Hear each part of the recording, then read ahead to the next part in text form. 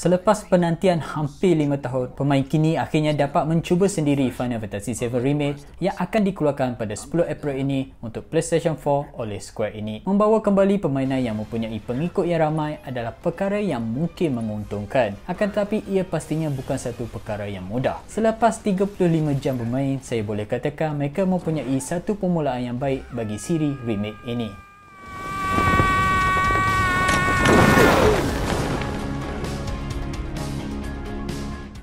Kebanyakan bahagian penciptaan adalah mengikut permainan asal. Namun mereka perlu menyertakan pelbagai penambahan bagi memastikan kandungan yang cukup untuk dikeluarkan sebagai satu permainan penuh walaupun ia adalah sebahagian sahaja daripada 3 hingga 4 bahagian lain. Penambahan yang disertakan kebanyakan adalah baik. Ia membawa perkembangan watak yang baru untuk watak-watak utama, watak sampingan dan juga watak yang diperkenalkan di dalam versi remake ini. Penambahan ini juga menjadi pengisi kepada penciptaan agar pacing tidak menjadi terlalu laju ia mungkin perkara yang tidak diperlukan oleh pemain yang sudah mengetahui penciptaan tapi untuk pemain baru ia penting bagi mengelak daripada penciptaan menjadi terlalu rumit terlalu cepat. Penceritaan dibantu lagi dengan penulisan yang baik serta lakonan suara yang sangat memberi jiwa kepada watak. Perhubungan antara watak nampak natural walaupun ada masa terasa cringe tapi ia sesuatu yang sudah dijangkakan. Walaupun saya sudah mengenali kebanyakan watak di dalamnya tetapi diperkenalkan sekali lagi di dalam permainan ini terasa segar. Jika permainan asal menerima menerima pujian kerana penceritaan,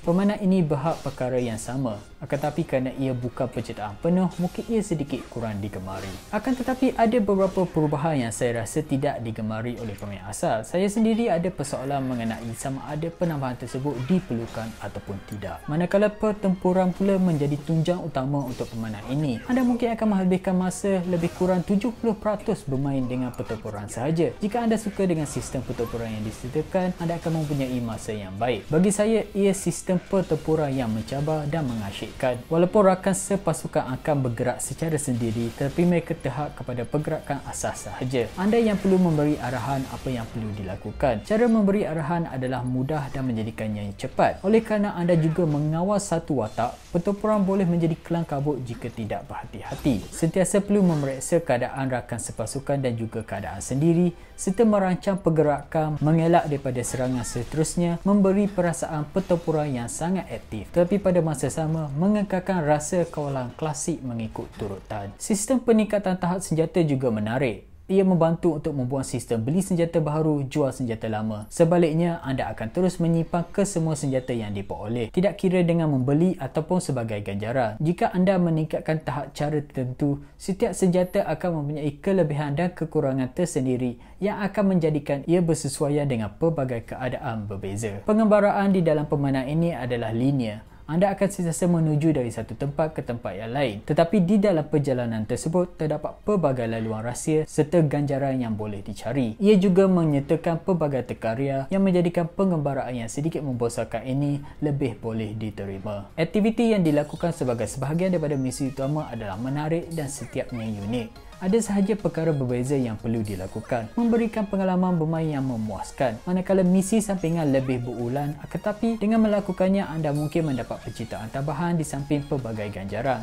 Jika anda tidak bercadar untuk menghabiskan permainan ini dengan cepat ia adalah perkara yang membalut untuk dilakukan. Grafik pula sudah semestinya seperti yang dijangka. Ia sangat cantik. Kelancaran juga baik. Adegan-adegan yang disediakan adalah sesuatu yang sangat mengasyikkan untuk ditonton terutama untuk aksi-aksi pertempuran Namun semasa saya bermain terdapat pelbagai masalah tekstur tidak dimuat ataupun tekstur yang digunakan mempunyai resolusi rendah yang sedikit mengganggu pengalaman bermain. Akhir kata Final Fantasy VII Remake yang pertama ini adalah permulaan yang baik oleh Square Enix Penambahan yang dilakukan memberi nilai tambah kepada penceritaan terutama daripada segi perkembangan watak. Manakala sistem pertempuran pula sangat aktif dan mengasyikkan, ia adalah perkara terbaik di dalam permainan ini. Saya mengesyorkan permainan ini walaupun dengan harga yang penuh kerana ia mempunyai kandungan yang pelbagai dan padat. Tetapi Square ini perlu melakukan pelbagai penambahbaikan serta penambahan kandungan untuk bahagian seterusnya kelak bagi melayakkan untuk turut dijual dengan harga penuh. Untuk ulasan penuh Final Fantasy VII Remake serta berita terkini permainan video, anda boleh layari aksis.com. Jangan lupa untuk langgan channel YouTube kami, like Facebook kami dan ikut kami di Twitter.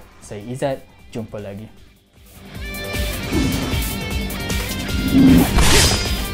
Cloud! About time, Murph! You're up. Late to the party and you giving me orders? Mm-hmm. Ah!